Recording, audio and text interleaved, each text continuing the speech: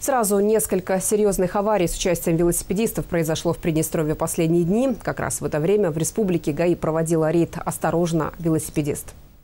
В пятницу под парканами погиб велосипедист. Парень 24 лет. В районе газовой заправки его догнал автомобиль БМВ. Следователи говорят, после удара велосипед подкинуло и еще 60 метров машина тащила его на капоте.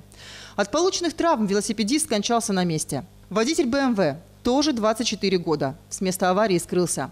В воскресенье его нашли в Молдове, он уже задержан, идет предварительное следствие.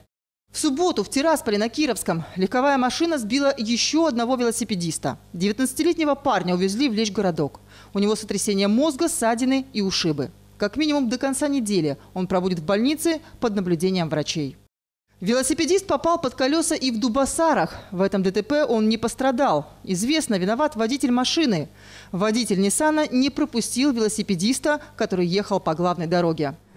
Андрей – велосипедист со стажем. В день может проехать до 100 километров. Он объездил все Приднестровье, говорит, культура вождения у нас хромает. Причем и у коллег-велосипедистов, и у водителей машин. Водители, они э, не относятся к велосипедистам как к э, равноправным участникам движения. И зачастую даже не замечают велосипедистов. Либо, я не знаю по каким причинам, но относятся очень грубо. Часто бывало такое, что я когда ехал, и очень близко ко мне проезжали машины. Хотя я еду возле обочины, я взрослый, я имею право на это. Но они очень близко, фактически чуть ли не задевая за руль. Три аварии с велосипедистами произошли как раз во время операции ГАИ «Осторожно, велосипедист». За это время были составлены админ-протоколы в отношении как велосипедистов, так и водителей. Водители в основном не пропускали велосипедистов на дороге.